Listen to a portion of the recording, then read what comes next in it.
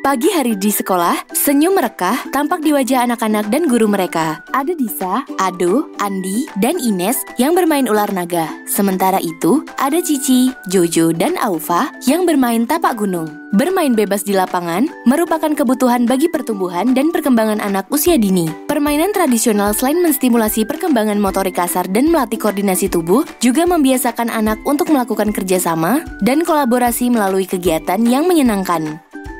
Anak-anak, selamat pagi. Assalamualaikum. Bagaimana perasaannya hari ini? Selamat pagi, Bu. Waalaikumsalam, Bu Guru.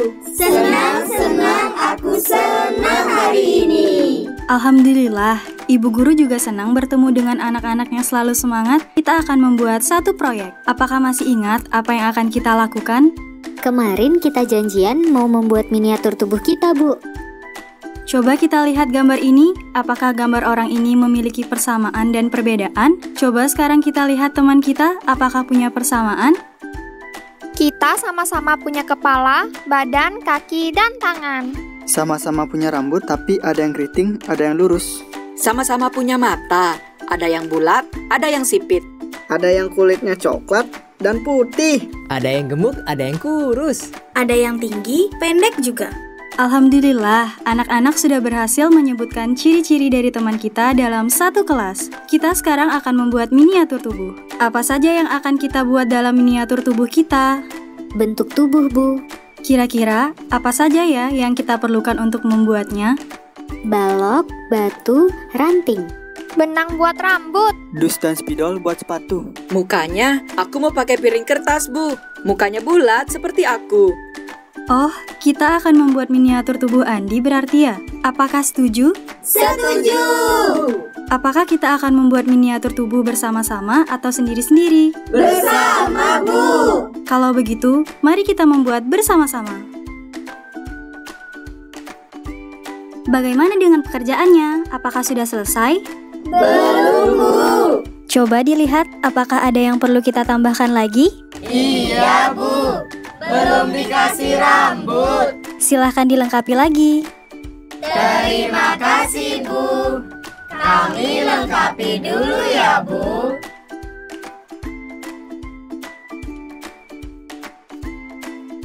Sekarang miniatur tubuh teman di kelas sudah selesai. Apakah ada yang akan menceritakannya? Aku, Bu. Ini adalah miniatur tubuh Andi, teman satu kelasku. Andi anak laki-laki, dia tinggi, berambut pendek, dan lurus.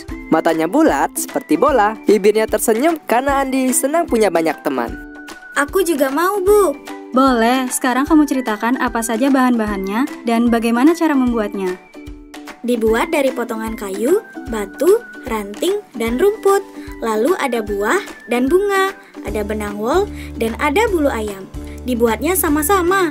Ada yang buat kepala, mukanya, rambutnya, lehernya, badannya, tangannya, kakinya, lalu ada baju dan celananya. Jadi deh. Terima kasih nak sudah menceritakan pengalaman membuat miniatur tubuh teman satu kelas. Ternyata bagaimana dengan tubuh anak-anak di kelas? Apakah sama atau berbeda? Ada yang sama, ada yang berbeda, Bu Guru.